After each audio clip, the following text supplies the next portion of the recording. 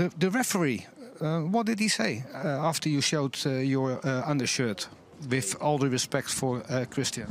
Yeah, I mean, um, we have football rules, but this is this is beyond football. You know, it's, it's we're talking about life and death, and so the ref just told me that, um, of course, it's not um, allowed, but he understands because this is this is a bigger situation than just playing football. You know. And he said that to you. Yeah, which is a big respect for me to from the, to the referee as well for for understanding the whole situation and what's going on around the world.